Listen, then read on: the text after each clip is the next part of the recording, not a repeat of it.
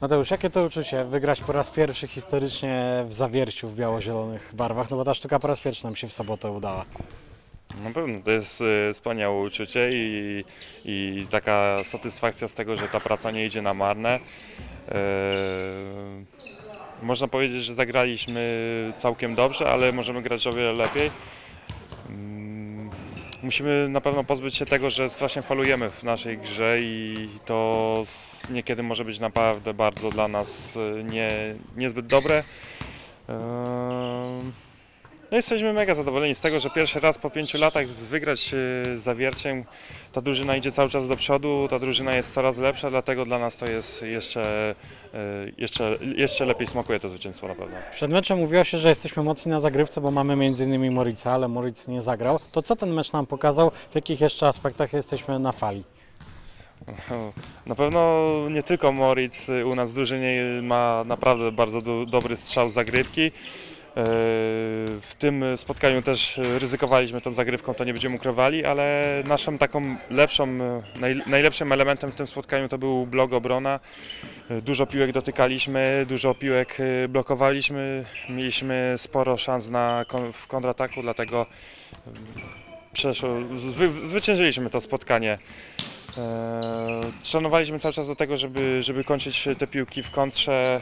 Eee, No i widać w tym meczu to zaczęło wychodzić. Było od razu o wiele lepiej. Ostatnio twój przyjaciel ze środka Taylor Averly prezentuje dobrą formę, a jak, a jak ty sam siebie oceniasz, jak ty się czujesz? No bo większość punktów na, na bloku to ostatnimi czasy on robi. Tak, no nie ma co oszukiwać się, że Taylor jest jednym z lepszych środkowych, którzy jacy są. Trzeba mu to oddać, że ma bardzo dobry sezon w tym momencie. Eee, Co, jeśli chodzi o mnie, no to ja cały czas małymi kroczkami idę, idę do przodu. Muszę wywalczyć, zwalczyć te wszystkie problemy, które, które się nabawiłem przez ten okres, y, kiedy trenowałem. E, Już zaczyna zdrowie mi dopisywać, e, wszystko zaczyna puszczać i tak naprawdę jak będzie, nic nie, nic nie będzie bolało, a zdrowie będzie dopisywało do samego końca, więc to będzie się grało tak jak się powinno grać. Czyli na luzie, a nie na spince, że trzeba rozegrać mecz i myśleć o tym, że na samym dzień muszę się rehabilitować. To ile takich meczów na spince rozegrałeś, jak ty to mówisz? Wszystkie pięć? E, No nie wszystkie pięć, ale no to mówię, raz jest gorzej, raz lepiej. E, Na pewno pierwsze spotkania były dosyć dla mnie męczące, ponieważ biodro jest takim, e, takim miejscem, gdzie co nie zrobisz, zrobisz szybki ruch, gdzie się odwrócisz, to od razu czujesz taki bardzo promieniejący, bolący- bolesny ból. No co, nie ma co dalej narzekać, tylko pracować. Możemy być zadowoleni z tego, że nasza drużyna prezentuje się bardzo dobrze i będzie się prezentowała coraz lepiej i na to liczymy. Musimy sobie poradzić ze swoimi problemami, które mamy i, i będziemy grali w topce.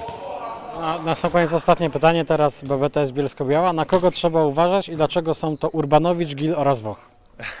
Bo znają nasz, naszą drużynę bardzo dobrze. E, No co można powiedzieć, na pewno będą chcieli nam e, udowodnić. e, To jest normalna sprawa, gdy się gra z drużyną, która wcześniej, w której się wcześniej grało, no to zawodnicy się napinają do tego, żeby pokazać się jak najlepiej, żeby pokazać swoją prawdziwą moc. Dlatego na to musimy uważać i oni na pewno będą chcieli zwyciężyć to spotkanie. Zresztą tak samo jak my.